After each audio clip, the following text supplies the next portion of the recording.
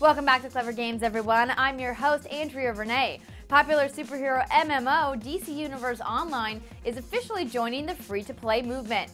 Sony Online Entertainment has announced that both the PC and PlayStation 3 gamers will be able to download the game for free. Sony admitted they always wanted to do a free to play with the MMO and that this isn't a way to combat a lack of subscribers. Instead, executive producer Lauren Jameson said that the game actually cost Sony significantly more than they had anticipated. There will be three versions of the game free, premium, and legendary. Those of you that don't want to pay will have access to the current DC Universe gameplay with the ability to create two characters and join a league.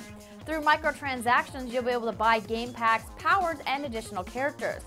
Premium members are those that have spent at least $5 on the game, including former paid subscribers. You'll get more characters and inventory slots along with higher cash limits. Legendary players will get the best features, but it costs 15 bucks a month. You'll get all the downloadable content packs included, plus over 15 character slots, more than 60 inventory slots, unlimited in-game currency, and the ability to form your own leagues. The launch of free to play is expected soon, and you can learn more about it by clicking the link in the story info below. For all the latest news from Sony Online Entertainment, be sure to click subscribe on our channel page. I'm Andrea Renee, and thanks for watching Clevver Games.